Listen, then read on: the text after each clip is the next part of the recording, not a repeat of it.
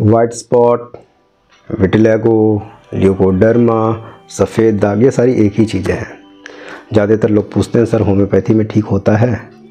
Sir, इसमें approach क्या होती है? कितना टाइम लगता है? पूरी तरह से ठीक हो जाएगा? ढेर सारे ऐसे सवाल जवाब हैं।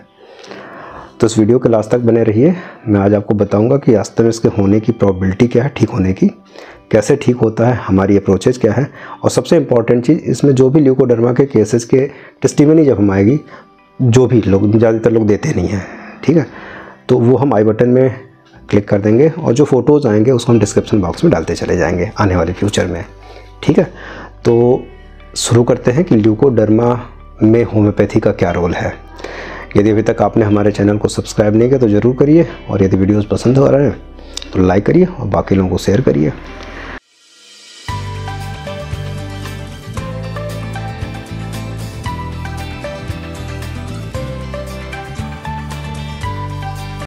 ल्यूकोडर्मा जो है, वो ऑटो इम्यून डिसऑर्डर है, और या फिर ये कहे डी पिगमेंटेड डिसऑर्डर है। यानी हमारी स्किन का जो कलर है, ये मिलेनिन की वजह से होता है। और किसी वजह से ये मिलेनिन हमारी स्किन से डिस्ट्रॉय होने लगे तो हमारी स्किन का कलर सफ़ेद हो जाएगा। सबसे ज़रूरी चीज़ तो ये जानना है, कब नहीं सही करना चाहिए। ल्यूकोडर्मा पूरी बॉडी का 30 परसेंट हो जाता है, उसको छोड़ दीजिए, आप नहीं सही होता है। मैं अपना एक्सपीरियंस बता रहा हूँ, बाकी लोगों का हमें नहीं मालूम। ठीक है? उसको ऐसे एलोपैथिक डॉक्टर को रेफ़र कर दीजिए। जो बाकी बॉडी का डीपिगमेंटेशन करके कम से कम शरीर को एक जैसा तो बना दे यहाँ स्कोप होम्योपैथी का नहीं होता है मोस्टली केसेस में। दूसरी चीज़ ल्यूकोडर्मा का ज़्यादातर केस जो होता है, उसमें कुछ मेडिसिन यूज़ की जाती हैं लगाने के लिए, और कुछ इंटरनल दवाइयाँ यूज़ होती हैं। वन वर्ड में बोलें कि ल्यूकोडर्मा पूरी तरह से सही हो जाएगा, ऐसा नहीं है, इसको लिमिट किया जाता है। ये हम एलोपैथी की भाषा बोल रहे हैं कि एलोपैथिक ट्रीटमेंट में इसको लिमिटेड किया जाता है, पूरी तरह से ठीक हो जाएगी, ये कोई नहीं बता सकता है। कुछ केसेज में होती होगी आई डोंट नो अब होम्योपैथिक अप्रोच की बात करते हैं। होम्योपैथिक अप्रोच में यदि कॉजेशन ऑफ़ द डिज़ीज़ मिल जाए, कि ल्यूकोडर्मा शुरू कहाँ से हुआ? जैसे एक एग्ज़ाम्पल बता रहे हैं। एक बच्ची का हमने ट्रीटमेंट किया था, ठीक है? और उसके ट्रीटमेंट में कुछ सिम्टम्स आए थे, उसमें उसको जो, उसके घर में कभी आग लग गई थी, ठीक है?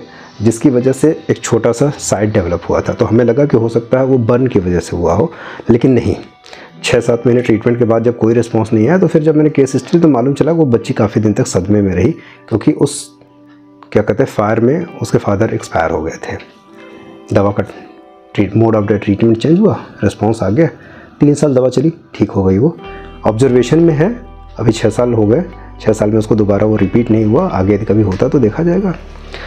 ल्यूकोडर्मा यदि किसी को है और यदि वो लेडी है तो अपने बच्चे में वो कंटिन्यू ना हो, चाहे बच्चे में होने के चांसेस ना हो, उसके लिए सीक्वेंस में उसको एंटीसेफ्लिटिक एंटीसाइकोटिक और आफ्टर देन सोरिक मेडिसिन पे डाल के तब उसे छोड़ा जाता है। प्रेगनेंसी पीरियड में सबसे अच्छा टाइम होता है कि हम उस कॉन्सिक्वेंस को आगे ना जाने दें। ये ज़्यादातर लोगों को मालूम नहीं it is new information for everyone तो जो होम्योपैथिक अप्रोच होती है, वो कॉन्स्टिट्यूशनल अप्रोच होती है। कॉजेशन ऑफ़ द डिज़ीज़ मालूम चल जाए। सो फॉर सो गुड यदि कॉजेशन ऑफ़ डिज़ीज़ नहीं मिलता है तो मरीज़ की कंप्लीट सिम्टोमेटोलॉजी ली जाती है। Mental general physical general particular general इसके बिहार पे हम लोग उसे प्रोसीड ऑन करते हैं। ज़रूरी चीज़ क्या है? सही होता भी है कि नहीं? बहुत पेशेंस रखना पड़ता है। यदि पेशेंस नहीं हो तो कभी भी होम्योपैथिक इलाज मत लीजिएगा। कुछ लोग बोलते हैं, होम्योपैथी बढ़ाती फिर घटाती, ऐसा नहीं है। होम्योपैथिक एग्रेवेशन माइनर होते हैं। वो समझ में भी नहीं आता जल्दी।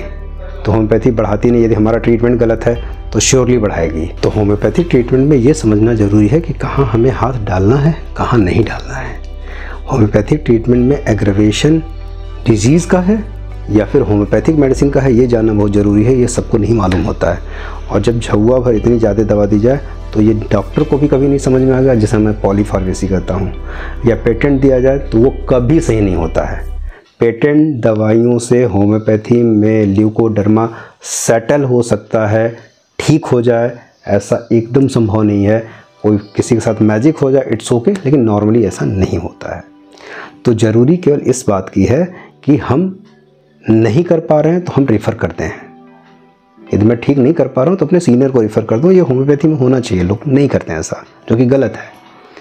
ठीक है, क्योंकि एलोपैथी में भी एक चेन बनी हुई है lower centre middle centre upper centre higher higher higher higher तो होम्योपैथी में भी ऐसा होना चाहिए। यदि हम नहीं सही कर पा रहे हैं, हम आज की डेट में मैं भी करता हूँ।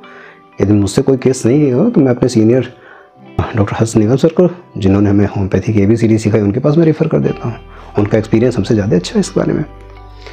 कई बार वो एक अप्रोच ऑफ़ द ट्रीटमेंट बता देते हैं, इस तरीके से फॉलो कर लेना ठीक हो जाएगा। लेकिन पेशेंस बहुत ज़रूरी है। ठीक है? रही बात लगाने वाली दवाइयों का। लगाने वाली दवाइयाँ होम्योपैथी में भी दी जाती हैं, लेकिन रियली वास्तव में उससे क्योर हो जाए ऐसा नहीं होता। क्योर वो इंटरनल मेडिसिन से ही होता है।